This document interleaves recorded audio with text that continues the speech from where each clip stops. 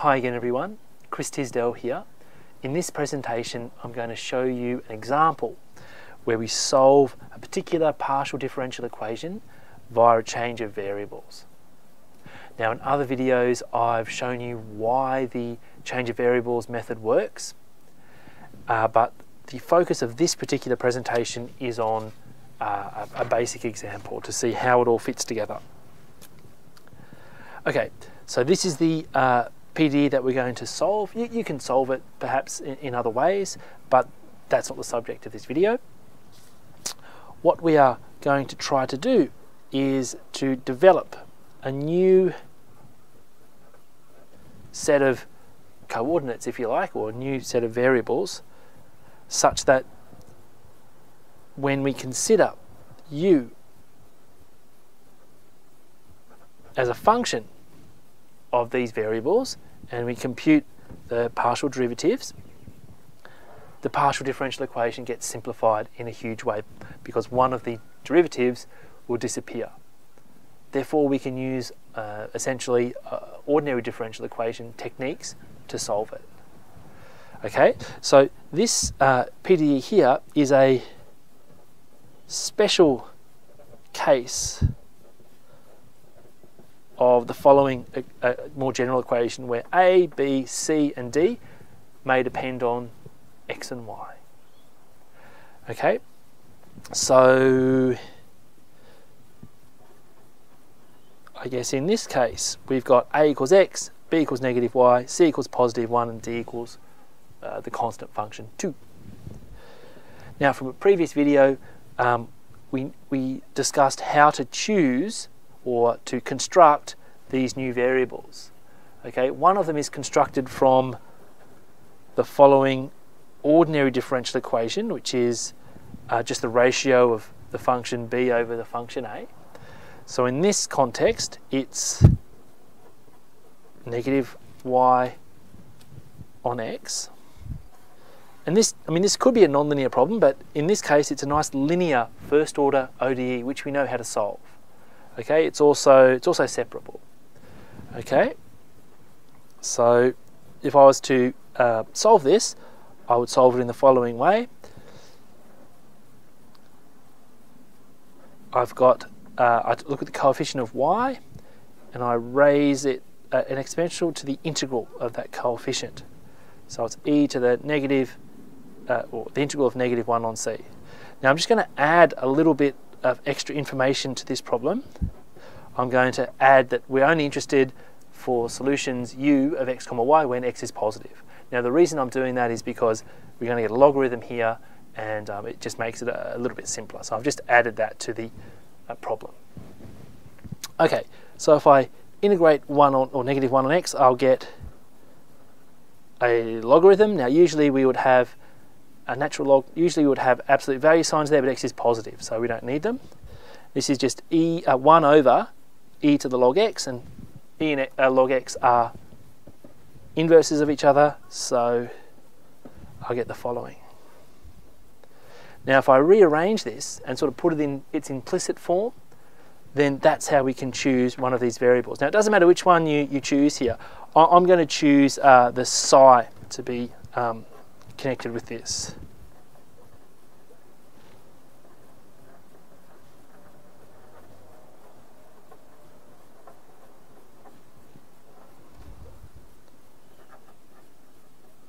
So I'm going to choose psi to be the left-hand side of this implicit solution to this original uh, dy dx uh, equals negative y on x. Okay, now you could choose um, eta to be that, but I've just done it this way. Now once we've chosen that, the other choice is, is very simple indeed. Okay. Now even though I'm writing eta depends on x and y here, I'm just going to let it depend on x.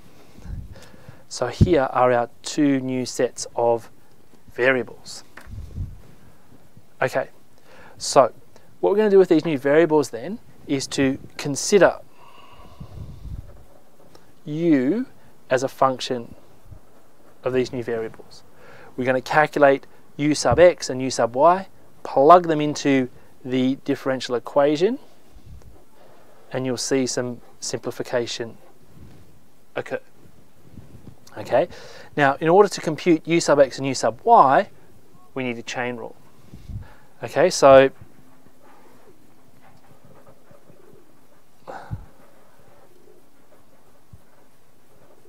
now I like to draw little uh, functional relationships. So um, u depends on psi and eta. Psi depends on x and y. And eta depends on x and y. In this, in this case, it's just x, but I'm just going to put x and y down.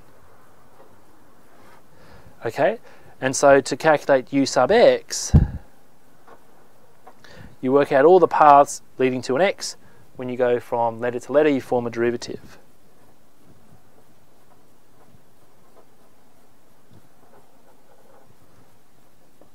Okay, u sub psi times psi sub x plus u sub eta times eta sub x.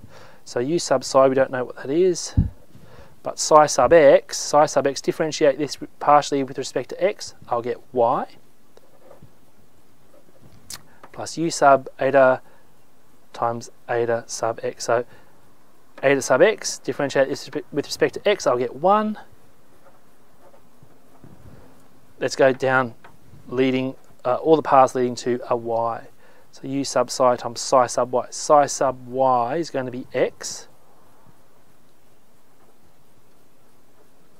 And plus u sub eta times eta sub y. Now this doesn't depend on y, so eta sub y is 0. Okay. Now let's take these expressions, sub them into star, and hopefully there's some cancellation occurring.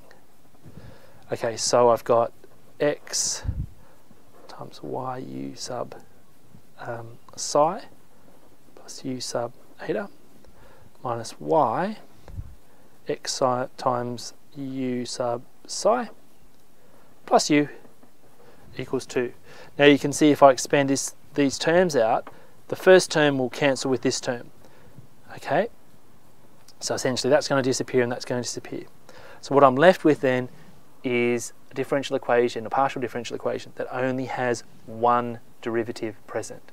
So it's been simplified uh, in a significant way, which means we can solve it. Okay.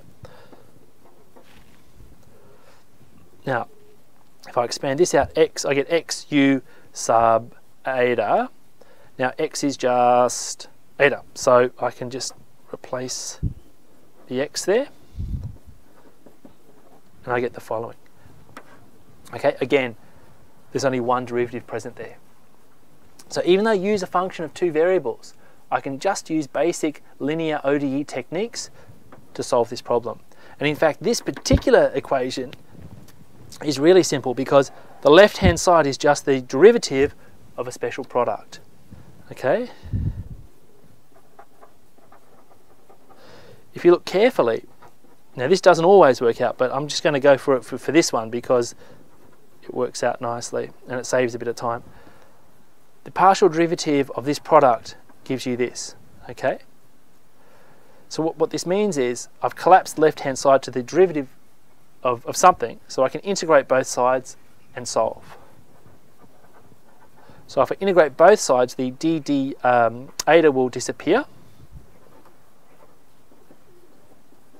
and I'll get, because use a function of two variables, I need a function of integration here. So making u the subject, I'll get the following.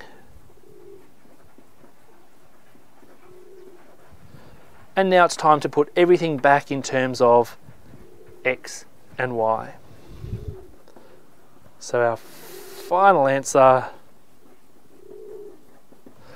is going to be, okay, um, psi is xy, eta is just x, so where k is an arbitrary but differentiable function. Okay, so that's how it works for these uh, substitution um, change of variables type problems. Now, if you get down to here and you've got two derivatives in your equation, you've done something wrong. Okay, so that's a good uh, flag to, to, to check to see whether you're heading on the right path. Okay? Now in other videos I'll be doing more examples. I hope you can join me for those presentations.